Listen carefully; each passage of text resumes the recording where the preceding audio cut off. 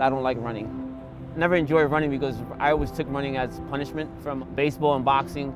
Every time you made a mistake, it was always go run. My son was a marathoner, and uh, I never ran with my son. Never got a chance to run with him because my son was actually driving home from work and uh, fell asleep.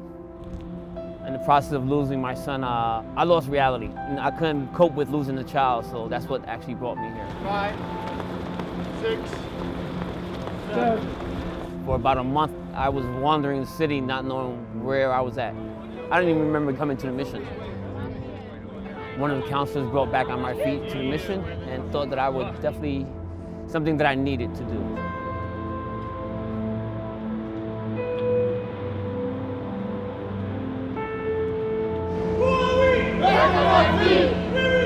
New York City! One of the big, huge components of Back on My Feet is no one runs alone. The point of this is not to outrun somebody, it's to uplift somebody. It's meeting people where they are. And it's not about how far and how fast, but it's what happens during those miles, which is so important. Back on My Feet was founded in 2007 in Philadelphia, and the concept of the morning run with Back on My Feet started day one.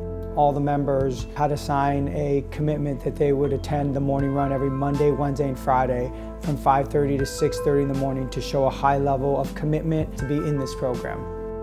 It starts with putting one foot in front of the other for a month and then they start to get some job training through our partners and then after three months they're eligible for financial aid. 12, 11. There's obviously need across America for the work that we do, but we want to grow in kind of an organic way.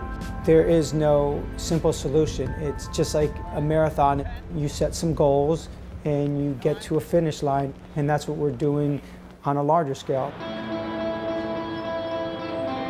People sign up for it because they want to see some transformation. The act of running gives them that feeling of accomplishment. What makes Back on My Feet a little bit different is the volunteers are there to make sure you don't quit on yourself.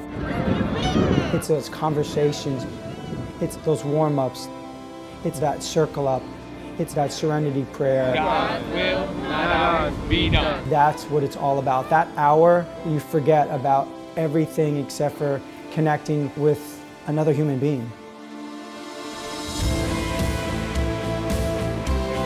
First time I ran, I actually thought it wasn't gonna last.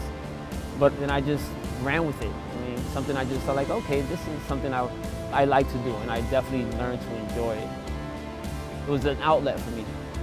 Quality time with my son, time with my God, and uh, yeah, therapy.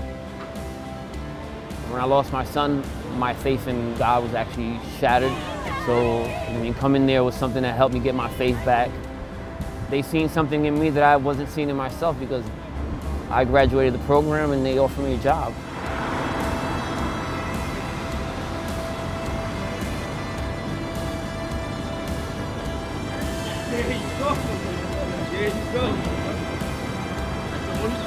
Some people just come in just to want to be a part of something.